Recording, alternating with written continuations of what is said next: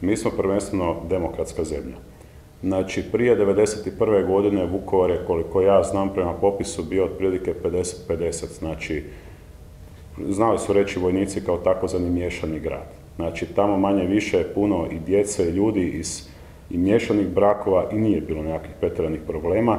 Mislim da ako su neke stvari sa nekakvom pozitivnom porukom i nekakvim, ajmo reći, pijetetom, ja s time nemam zaista problema, ali ako se ide samo nešto i provocirati, ako se ide opet sukobljavati, to je nešto što nikome ne koristi. Ako neko želi tamo raditi predstave, nekih radi, ja osobno nisam tip od predstava, ja ako ću davati pijetet za nekoga, to ću davati na jedan pravi način kako to zaista i branitelji zaslužuju. Primjerice imate ljude koji su primjerice kad su se probijali civili van iz Vukovara, išli u Minsko polje da bi žrtvovali sebe kako bi civili mogli izaći van. Mislim da treba i te vijence baciti za takve.